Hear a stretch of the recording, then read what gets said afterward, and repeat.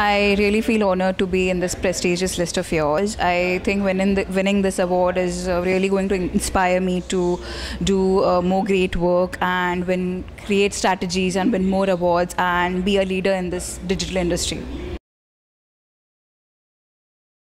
I think having a focused aim is very important. Um, in this era of communication with technology playing a very important role in the back end, uh, I think they need to really have a focused mind and see where they fit in in the whole ecosystem and uh, decide where their interest lies and uh, decide their future opportunities accordingly.